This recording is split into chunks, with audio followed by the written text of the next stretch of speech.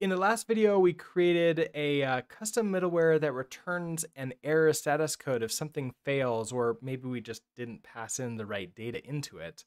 Uh, but I wanted to just cover custom status codes in route handlers in its own lesson here. So let's go ahead and create a um, uh, let's create a route. So I'm going to create a new request. This is to HTTP local host port 3000 let's do um uh maybe like um always errors. So like always errors. We got a 404 not found so let's go ahead and fix that. So we're in routing source routes. Let's create a file called always errors and in mod, we will mod that. pub function.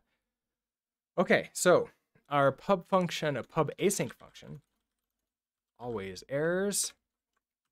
Um, we're not going to take anything in. Now, in this case, I feel a little bit more comfortable doing a return value on this.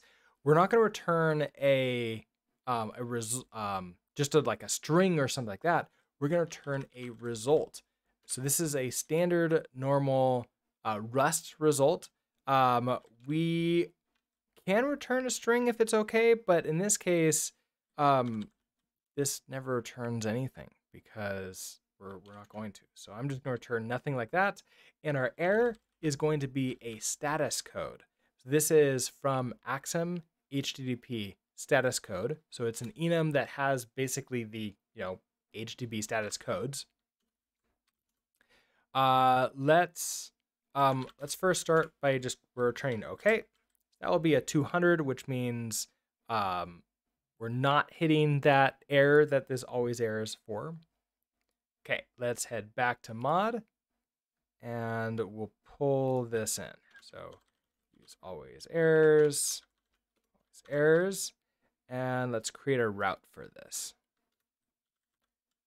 Route path is always errors, and this is going to be a get, always errors.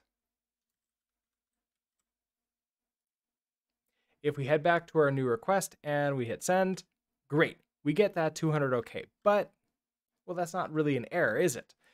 So let's head back to always errors, and let's actually like, let's change this. So instead of returning okay, we're going to return an error, and we have to return a status code. Well, we already brought in status code, and here we have the text representation of all the possible uh, responses that we can get.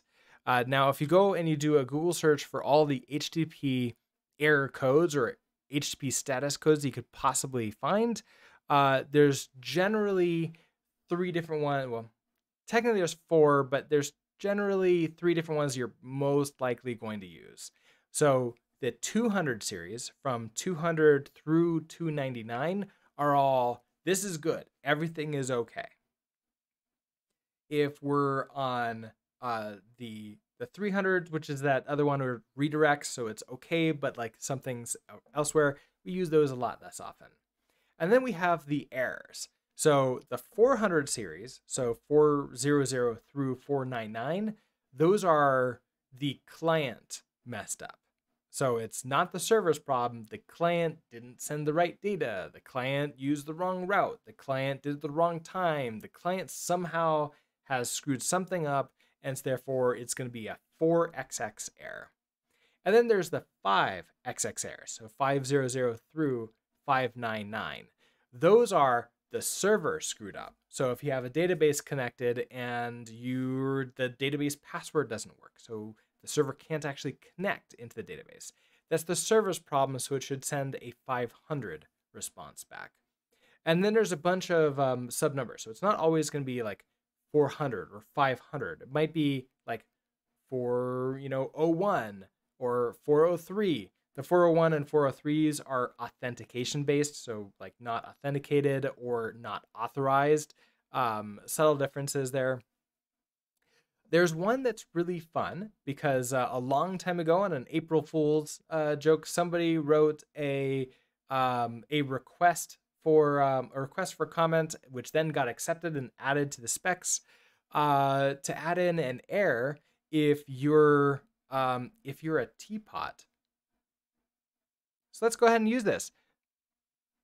So I'm a teapot is actually a valid error that you can use here. So we're going to say that this route is a teapot, and therefore it can't do anything else. You should never use it. We're going to hit save, come back to our new request, and when we hit send, we get a status 418, I'm a teapot instead. Now, previously when we got an error, it crashed our server. So if we take a look at this again, we'll notice that nothing bad is happening. Everything is okay. We didn't get an error down here. We just got our 418 here. So it's really good to handle our errors properly and send them back because that way it won't crash the server, causing you to need to restart it, which might uh, might not be might not be nice for anybody else who has any kind of like um, requests in flight. Anyways, this was how we create or at least return custom error codes in a case that something is going wrong and uh, uh, hopefully this is helpful, and I will see you in the next video. Bye.